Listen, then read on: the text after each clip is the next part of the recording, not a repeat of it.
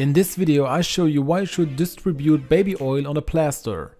Therefore you should watch the video definitely to the end. Because you certainly know this, you want to pull off a plaster but it hurts when you take it off. Especially if there is hair underneath. Tearing off quickly is then rather unpleasant, but with a little baby oil we can make the whole thing a little more pleasant. And how that works I show you now once. For this, as I said, you need conventional baby oil and this we must now distribute on the plaster. For this you can take a towel or like me here a piece of household roll. Then you put a little bit of the baby oil on the towel and spread it on the plaster. That means I press it a little bit everywhere until we can see here that the plaster has been soaked a little bit with it.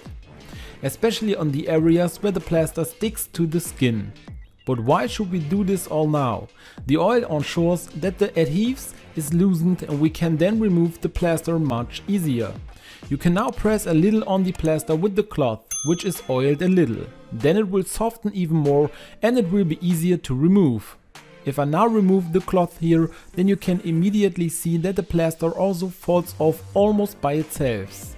That is, if I go between them with my finger, you can see that it no longer really sticks to the skin.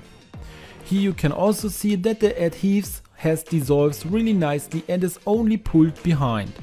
This allows you to remove the patch much faster and easier. The whole thing works of course also with a cooking oil if you have now no baby oil at hand.